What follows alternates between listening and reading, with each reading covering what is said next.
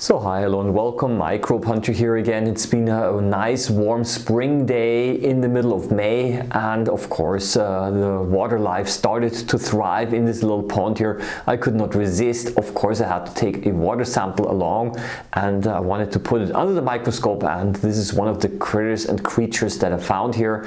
Uh, it was full of different types of water crustaceans. Of course there were many other water organisms also present but today I'd like to show you some of those water and water crustaceans uh, that are found.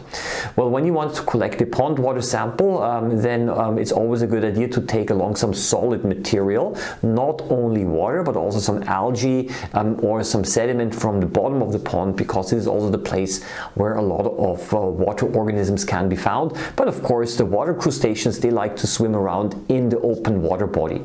Here we see uh, a few of them that are essentially almost entangled a little bit uh, in the algae, and you also see a nice nice air bubble and those air bubbles usually they start to grow as the algae are producing more and more oxygen by photosynthesis. I like those water crustaceans a lot because they are not only quite large and easy to observe, but you can also look into the transparent or through the transparent body um, a little bit and this allows you also to see the movement that is going on inside the water animal.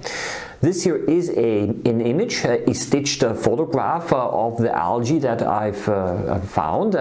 and you probably also realize by now that there are, the biodiversity was not so high really. Um, there were not so many different types of spe um, algae species around. So I've seen actually water samples that were a little bit more interesting even. But nevertheless, this one was full of water crustaceans of different kinds.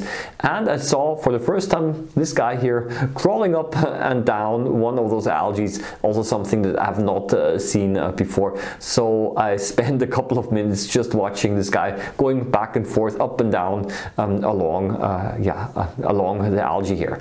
Quite uh, amusing to watch, and it shows that different water organisms have, of course, a different way of moving forward. Other water organisms, for example, the copepods, they have large antennae that they also use for actually um, yeah, moving forward.